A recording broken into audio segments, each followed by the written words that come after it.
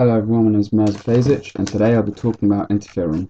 I'll be talking about what interferon is, the importance of it, how it's produced mass scale, and the problems in mass production. Interferon is a glycoprotein released by cells when they are infected by a virus. It warns the neighboring cells of the viral infection. The neighboring cells then begin to activate the genes that interfere with viral replication. They also assist with immunity, by helping the T cells and natural killer cells to destroy the virus. There are three main types of interferon alpha, beta, and gamma.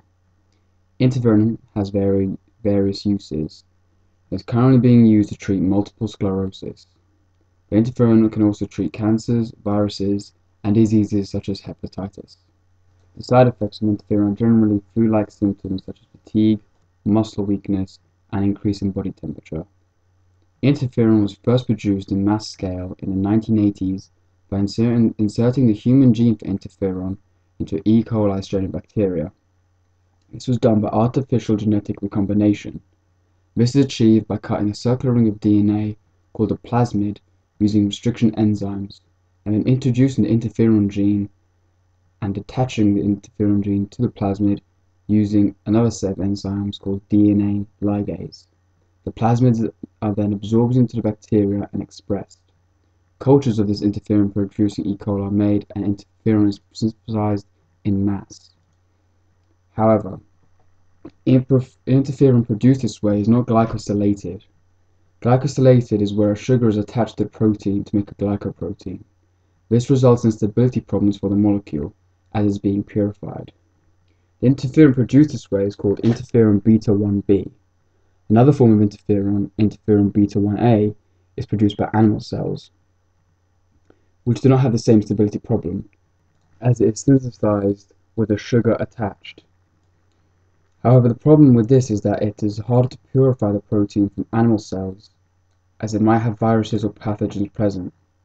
The method for producing interferon from animal cells is by inserting the gene into the cells through a modified virus and in growing a culture of those cells which then produce interferon.